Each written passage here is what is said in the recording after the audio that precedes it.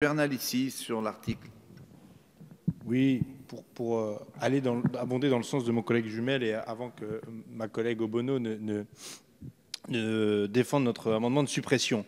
C'est vrai que c'est très intéressant. Euh, on a notre collègue de la République en marche qui nous fait une intervention disant qu'il y a des grands principes, euh, la publicité de l'audience notamment, le contradictoire, et on énonce ces grands principes pour faire quoi? Mieux les contourner quand même extraordinaire. Pas pour mieux les mettre en œuvre. Non, non, non, non.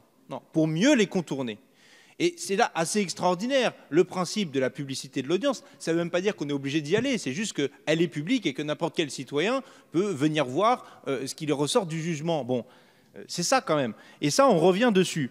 Et alors sur le numérique, sur le numérique.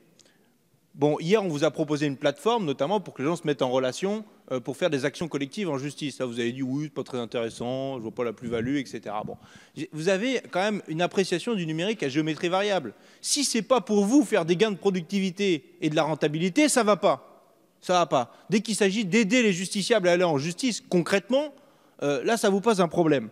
Sauf qu'en réalité, le numérique tel que vous le concevez là dans la procédure, ça va être de dire aux justiciables Bon, écoute, en fait, si tu passes pas par voie dématérialisée, bah, ça va prendre plus de temps.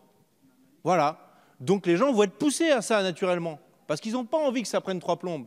Donc encore une fois, pour des questions de moyens, de manque de juges, on va inciter et pousser vers le numérique, notamment sur les injonctions de payer, pour le contentieux des injonctions de payer.